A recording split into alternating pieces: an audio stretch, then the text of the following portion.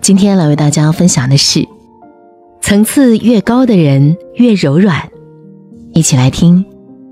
林清玄说过：“唯其柔软，才能包容；唯其柔软，才能除挂碍。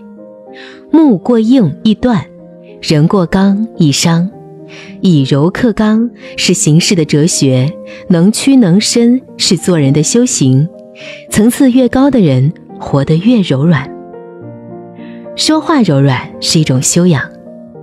导演请教中，一位年轻导演拍了部喜剧短片。”短片观影效果很好，但电影学院的评委却提出意见：“你的片子一点都不高级，喜剧包袱都停留在动作层面。”此话一出，现场一片沸腾，大家都等着年轻导演的回应。结果他没有反驳，而是说：“看喜剧就像是吃饭，有人喜欢吃路边摊，也有人喜欢去高级餐厅，这两者都没有错。”我喜欢吃路边摊，但以后啊也会学习高级餐厅的手艺。年轻导演以比喻的方式委婉回答了评委的质疑，既照顾了对方的面子，也化解了现场的尴尬。说话的方式体现了一个人的修养，与其咄咄逼人，不如藏起锋芒。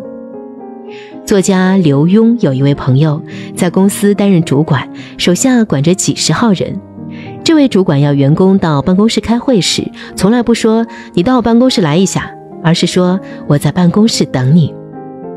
一句简单的话，把自己的位置放低，把员工的身份抬高，赢得了许多人的好感。说话柔软，并非刻意讨好，而是把别人放在心上，处处体谅。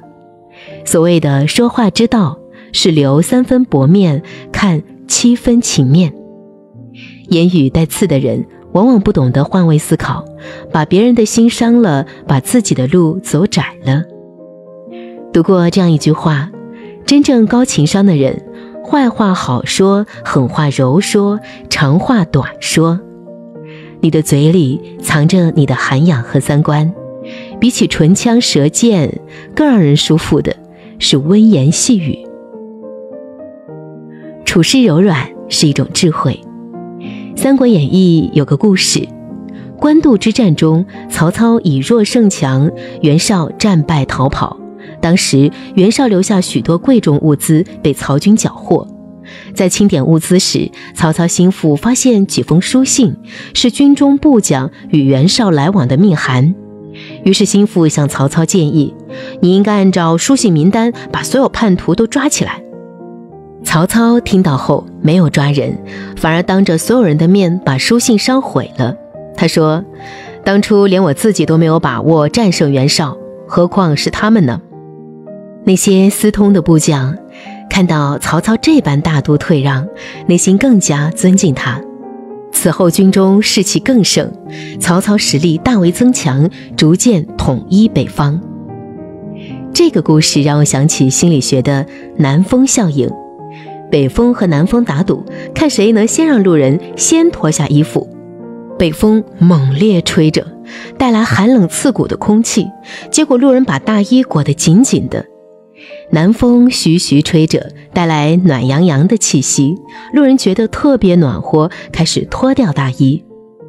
比起强硬的逼迫，柔和的退让更有力量。步步紧逼会招来横祸，留有余地能海阔天空。古语曾说：“大丈夫能屈能伸，识时务者为俊杰。”人这一辈子，如果做到进退有度，那么碰到任何麻烦都会转危为机。遇难事不死磕到底，放下身段另谋他法；遇琐事不纠缠到底，退后一步各自安好。为人处事要有柔软的智慧，给他人留一线生机，也给自己留一条后路。做人柔软是一种境界。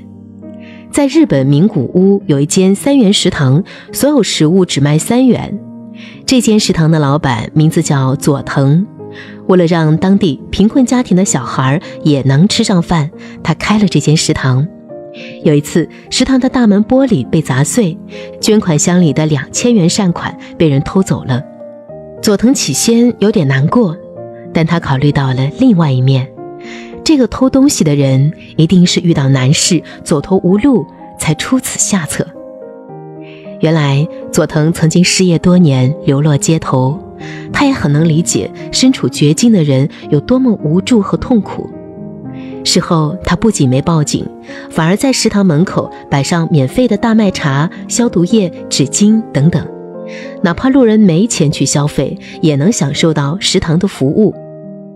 在盗窃事件发生的三个月后，一位不知名的食客被佐藤的善举所感动，特地在捐款箱里放了五千元和一封感谢信。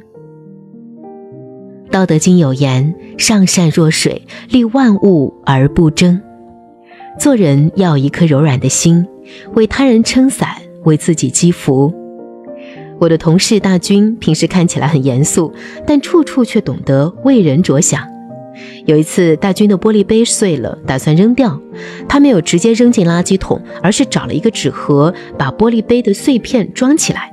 然后他用圆珠笔在纸盒上写了四个大字：“内有玻璃。”我问大军为什么这么做，他说：“我担心清洁阿姨会被这玻璃扎到手。”这么一个小小的细节，我一直记在心里。其实。做人柔软并不复杂，它只是多一份怜悯，多一份理解，懂得别人的难处，所以心怀慈悲；看过世间的疾苦，所以心存善念。一个人越能包容他人，内心就越丰盈。网上有一个提问：什么是内心柔软？有个高赞回答说：“柔软不是示弱，而是打开钢铁般的心墙，理解世间的善恶，拥有从容的底气。